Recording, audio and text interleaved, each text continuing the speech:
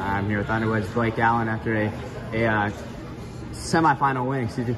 Uh, Blake, you're going to the finals. How do you feel? Feel great. Felt like it was meant to be, and uh, yeah, I'm ready to win this thing.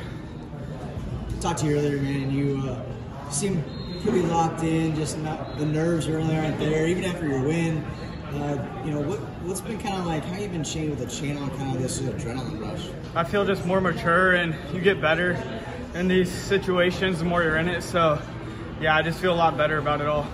That's good. So what's uh, what's the dirty you do here? Uh, 24 hours, like just to kind of calm down and get ready for.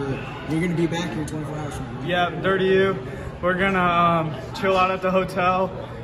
I'm hoping to hang out with Maddox Nelson.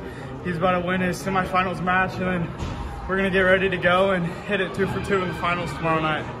That's good, man. And, uh, you know, after tomorrow night, um, what do you what do you hope that you know, people look at you know, your career and think about when they think of your name?